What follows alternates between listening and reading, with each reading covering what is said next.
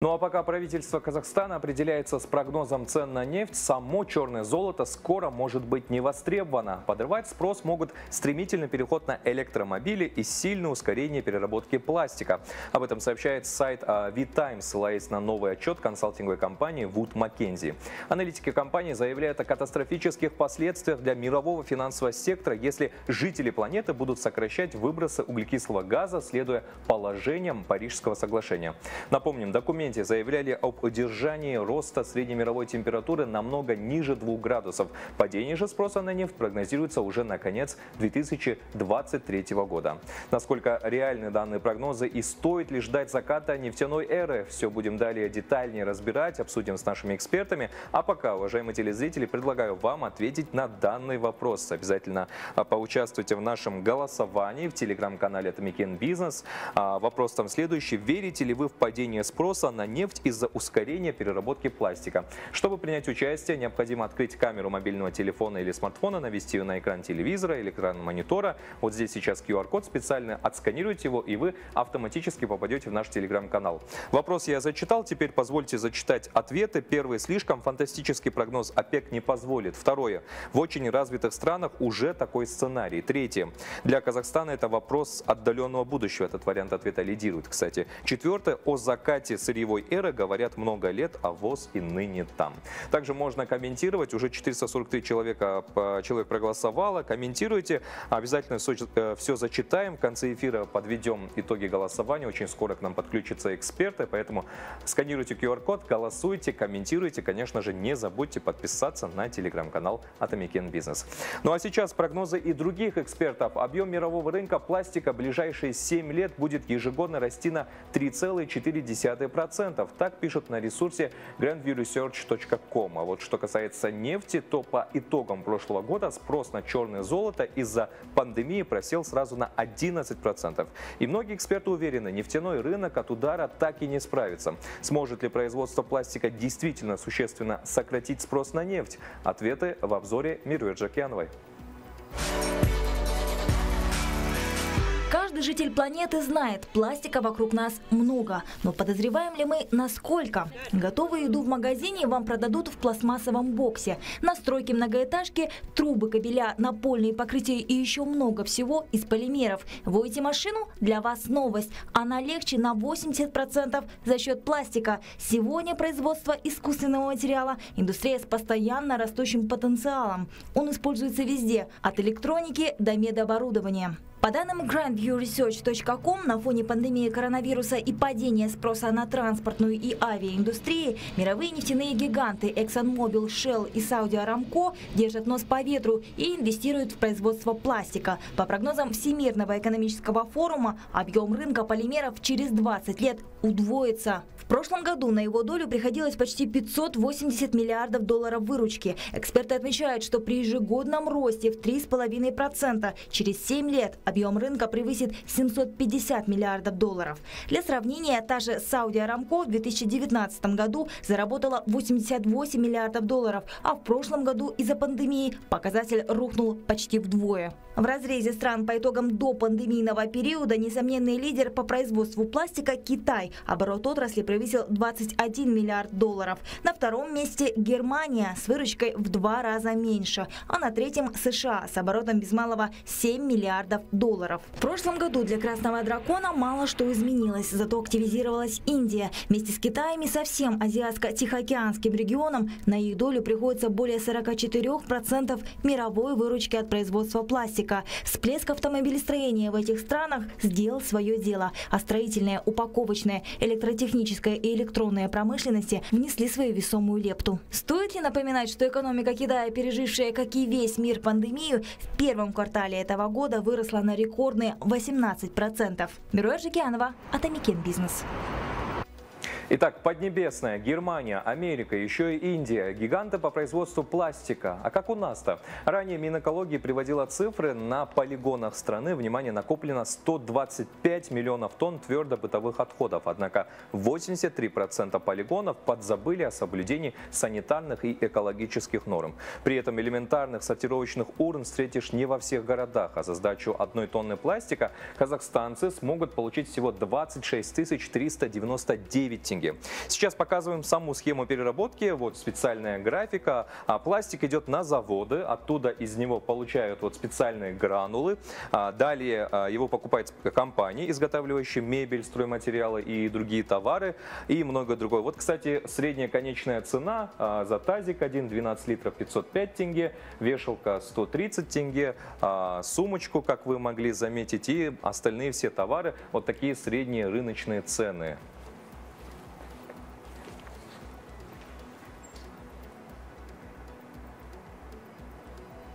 Государство все это стимулирует. Недели ранее на сайте оператора РОП сообщалось, что на финансирование отрасли переработки в Казахстане планируется направить 10 миллиардов тенге. Между тем, в Шимкенте дорожает пластиковое сырье. Всего за две недели исходный материал для производства детских игрушек подорожал на 40%. В связи с этим производители просят власти остановить рост цен, поскольку это отражается не только на конечной стоимости товаров, но и на их количестве.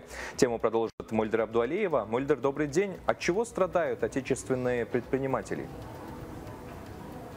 Мольдер?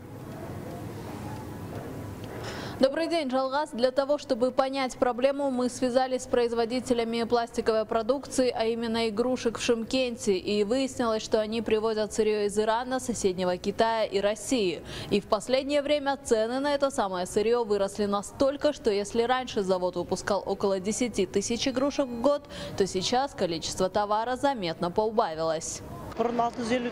Раньше мы покупали сырье по 650 тенге, а сейчас по 950. Это очень бьет по карману. Мы вынуждены повышать цены на игрушки. Люди же не станут их задорого покупать. За последние две недели производство на нашем заводе упало. Сам завод начал работу в 2011 году благодаря господдержке. Владельцы взяли кредит в 50 миллионов тенге и приобрели все необходимое в Китае. В этом году владельцы планировали расширить свой бизнес, но карантинные ограничения и последовавшие за ними подорожания внесли свои коррективы в намеченный план. В дальнейшем мы хотим выпускать машины на пульте управления и продукции для развития детей. Также хотим производить детские ходунки. Отмечу, что всего в Шимкенте работают около 20 цехов, производящих пластиковую продукцию, а вот завода по производству сырья в городе нет, поэтому все завозят его из-за рубежа. И такое повышение цен во вред отечественным производителям, но на пользу, к примеру, их коллегам из Узбекистана, поскольку они, имея собственные Отечественные заводы поставляют продукцию на наш рынок по доступной цене. Жалгас, у меня на этом все. Тебе слово. Вальдер, благодарю. Вот ты, кстати, затронула Узбекистан, а сейчас цифры по внешнему товарообороту резиновых и пластмассовых изделий в Казахстане. В 2020 году он составил полторы миллиарда долларов, экспорт снизился на 16%, составил 77 миллионов долларов, а импорт же составил 1,4 миллиарда долларов. Там, кстати, тоже снижение на 1,4%.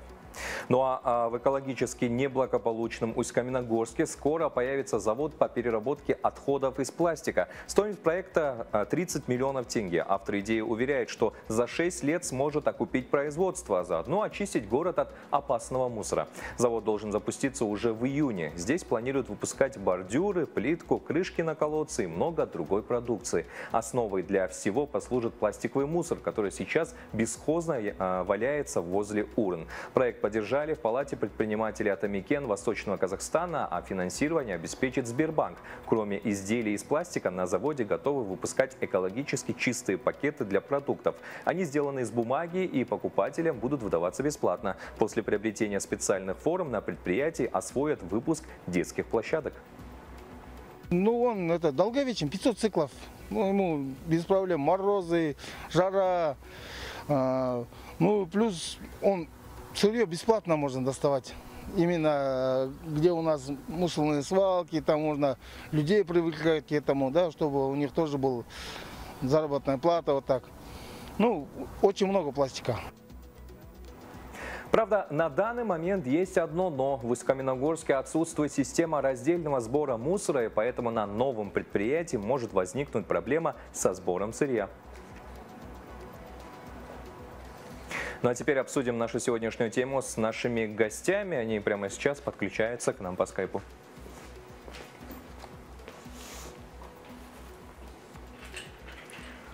Уважаемые телезрители, я напомню, что сегодня мы обсуждаем тему переработки пластика. Напомню, аналитики э, агентств, консалтинговой компании Wood Mackenzie заявили о том, что переработка пластика может подорвать спрос на нефть. Возможно ли это? Вообще, как это получится в Казахстане? Мы будем обсуждать с нашими спикерами. По скайпу к нам подключается управляющий директор по стратегическим вопросам, то оператор РОП Кайрат Гали э, Хайулла, исполнительный директор то «Радуга» Петр Шарапаев и председатель Совета развития стратегических партнерств нефтегазовой отрасли Асылбек Жакиев.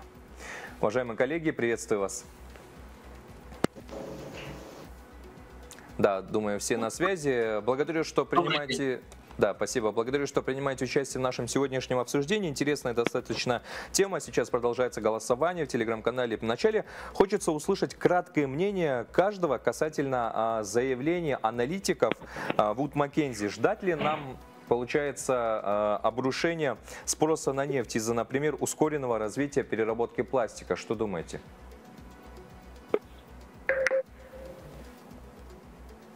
Можем начать э, с э, Кайрат Гали, пожалуйста. Здравствуйте, коллеги. На самом деле, э, я не сильно так поддерживаю идею, что в переходе, то есть снижение зависимости от нефти и газа, самое ближайшие 10 лет. Это в течение 10 лет это точно не будет снижение зависимости от нефти и газа.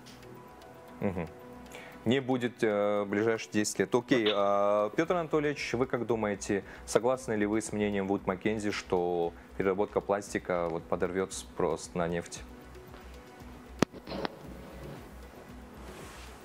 Петр Анатольевич? Да, проблема со связью, приносим прощения, уважаемые телезрители. Есть а, с нами на связи еще и Аслбек Жакиев. Аслбек, вы нас слышите? Да. Вот как раз по, ваш, да, по вашей как раз части, вкратце, ваше мнение, вот аналитики Вуд Маккензи говорят, переработка пластика окажет влияние на спрос на нефть. Ваше мнение, согласны ли вы с этим? Ну, скажем так, как человек, который э, каждодневно работает с нефтегазовыми компаниями, все-таки мы выступаем, как бы, ну, скажем, лоббисты нефтегазовой отрасли. И я считаю лично, что альтернативы нефтегазовой отрасли в ближайшее время нету, тем более для Казахстана. Верните на второй Если... вопрос, почему прокрутили? Слышно, да? Да-да-да, слышно, конечно, слушаем. Да, и ну, давайте вот возьмем такую статистику. Если за 2020 год там а, добыча нефти и газа составила у нас 85 миллионов, то в этом году у нас и то из-за ограничения ОПЕК добыча уже растет на 86 миллионов. Цены растут. Я э, читал этот доклад McKinsey, ну, постоянно такие доклады различные наши, скажем так, think tank, да, аналитические центры западные, американские в основном, дают нам, э, скажем, такой э, угрожающий, э, э, скажем, прогноз, что вот нефтянка у нас в скором времени закончится. Э, я думаю, что это неправильная трактация. Почему? Потому что мы видим, что нефтегазовые компании продолжают наращивать свою добычу нефти и газа. Вот. В ближайшее время э, тот же самый, вот знаете, парадокс в том, что недавно я смотрел тоже интервью, по-моему, это было э, в, на Гарвард бизнес-ревью, как там смеялись то есть производителя нефтегазовых, э, э, то есть производителя э, автомобилей роскошных, там, Lamborghini, Ferrari, так они говорили, хорошо, Tesla есть, есть, скажем, у нас там электрокары, но чем заправлять эти то есть, станции электрические? Все равно нефтегаз. Поэтому я думаю, что вот эта различная переработка пластика а, или там зеленая энергетика, оно, конечно, актуально, никто не говорит, оно нам нужно, но не, не надо забывать, что нефтегаз, оно самое дешевое, одно из дешевых э, топлив э, во всем мире, и поэтому я думаю, что нам ничего не грозит, нам надо дальше развивать э, нефтегазовую отрасль и сопутствующие отрасли. Спасибо. Петр Анатольевич, вы к нам присоединились, вы нас слышите? Thank you. Да, но, как мне сообщают, сейчас мы восстанавливаем связь. Надеюсь, Петр Анатольевич к нам присоединится, потому что очень много интересных вопросов. Давайте продолжим. Спасибо, уважаемые коллеги, что э, вы сказали свое мнение. Вопрос у меня теперь к Кайрат Гали. В феврале 2020 года Беларусь выдвинула предложение ввести э, в ЕАЭС ограничения на ввоз отходов пластика, в первую очередь неперерабатываемого. Сейчас как-то контролируется ввоз пластика в Казахстан, а то там были э, опасения, что условно наша страна страна станет полигоном отходов? На самом деле сейчас э, действует в Казахстане система э, взимания платы за утилизационный сбор, так называемый за сбор и утилизацию. Каждая тара, э, которая согласно коду ТНБ утвержденная в рамках Евразес, они должны подлежать к оплате. За каждую тару, за каждый килограмм импортеры оплачивают, и мы принимаем, и мы берем как оператор РОП себе на себя обязательно, что мы соберем, будем утилизировать эти отходы. Поэтому у нас нет на самом деле сейчас ограничения какие-либо. А все а, пластмассы, которые а, возятся в Казахстан, тары, да, так скажем, они э, принимаются и подлежат к оплате.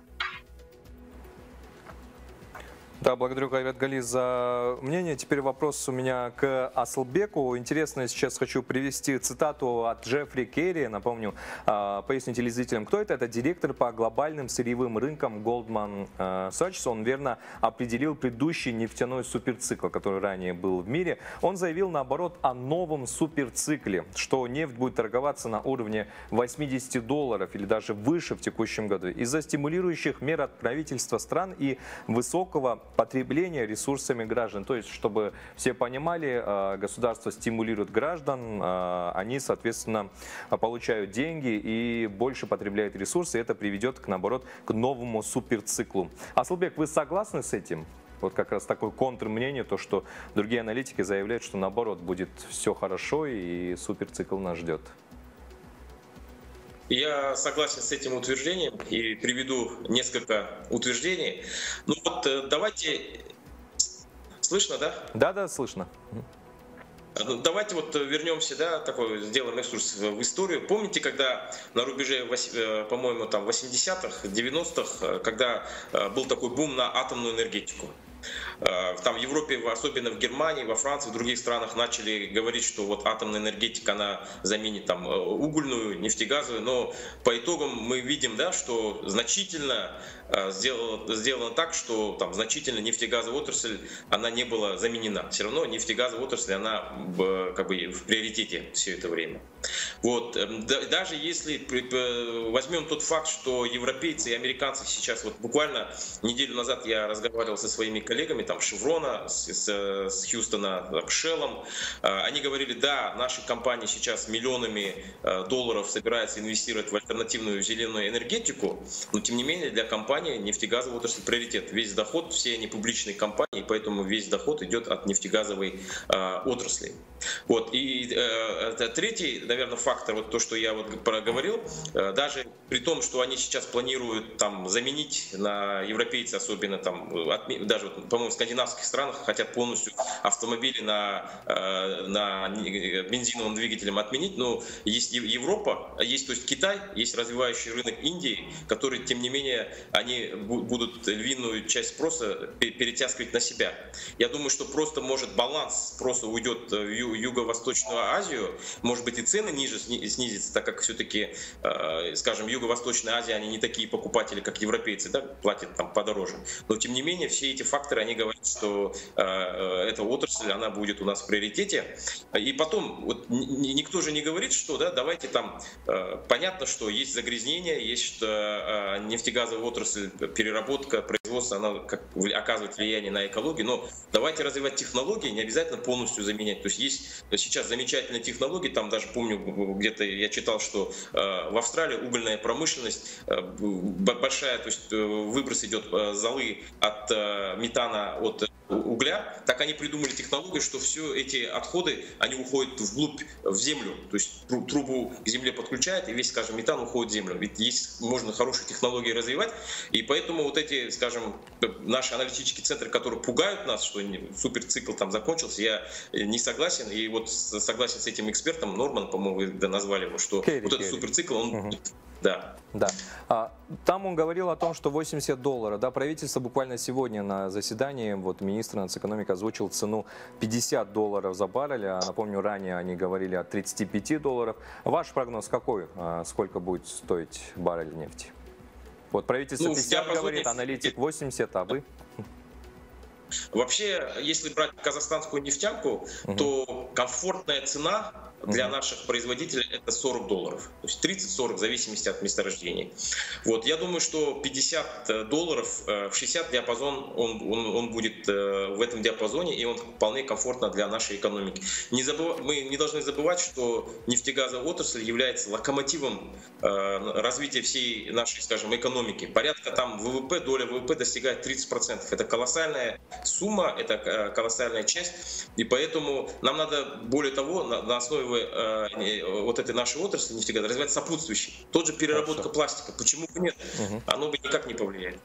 Да, спасибо за интересное мнение. Аслбек, давайте теперь э, вернемся к э, обсуждениям на переработке пластика. Как мне сообщили, мы восстановили связь с Петром Шарапаевым, это исполнительный директор э, ТО «Радуга».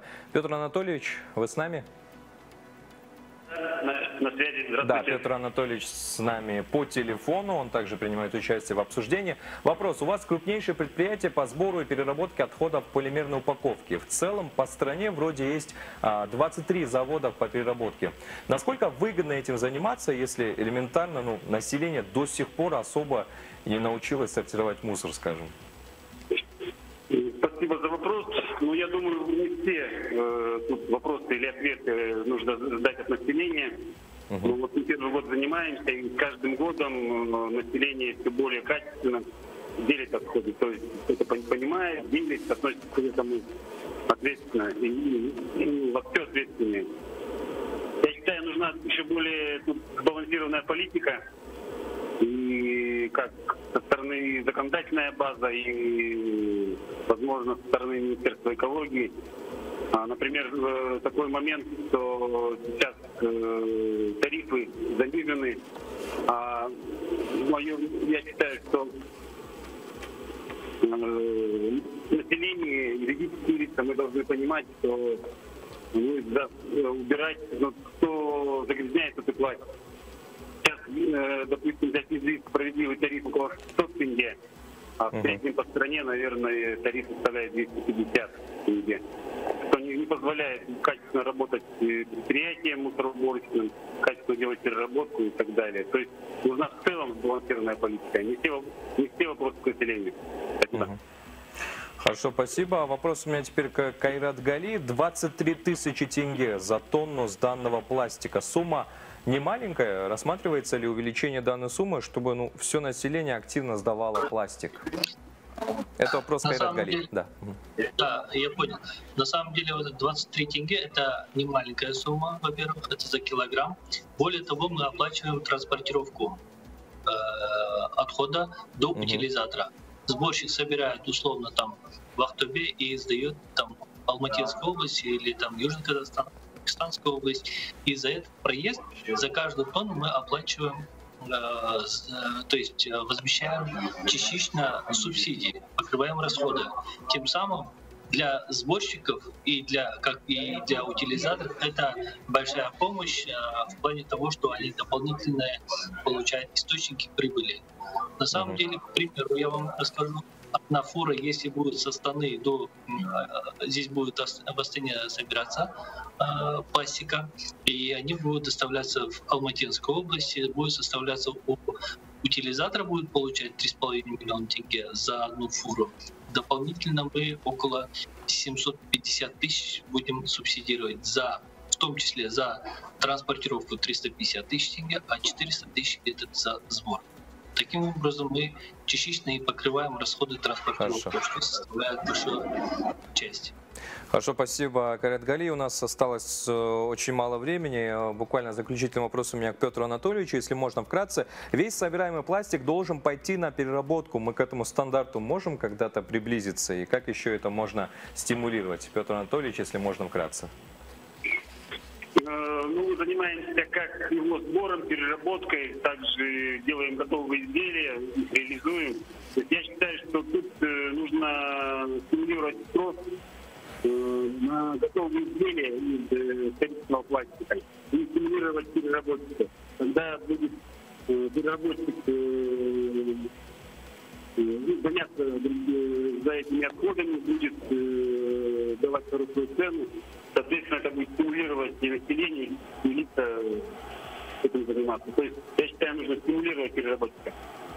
Хорошо, спасибо за интересное мнение. Уважаемые гости, я благодарю вас за участие в нашем обсуждении. Очень интересные сегодня мнения прозвучали. Напомню, уважаемые телезрители, мы а, обсуждали тему переработки пластика, о том, подорвет ли это или вообще какое влияние окажет на спрос нефти. А, приводили мнение аналитиков, и мы беседовали в прямом эфире с управляющим директором по стратегическим вопросам ТО оператор РОП Кайратгали Хайрула, исполнительным директором ТО «Радуга» Петром Шарапаевым и председателем Совета развития стратегических партнерств нефтегазовой отрасли Асылпеком Жакеевым. Благодарю, уважаемые спикеры, за участие в нашем обсуждении.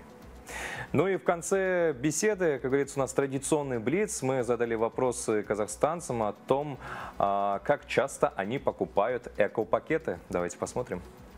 Я мусор сортирую всегда. И учу, конечно же, детей тоже так же делать, потому что меня заботит будущее. Не только Казахстана, но и всей страны. Да, у меня эко-пакеты, два пакета, я с ними хожу в магазин всегда. Специально два эко-пакета у меня есть. Эко, эко-пакеты не, не покупаем, если честно сказать. Но стараемся это. Бутылки, например, стекляшка отдельно кидать. Что как стоит, так и закидываем. Раскладываем так, просто пакеты и раскидываем, закидываем. Я их не покупаю, но, видите, я просто использую такие пакеты. Это было мнение казахстанцев. Ну и смотрите далее в дневном формате.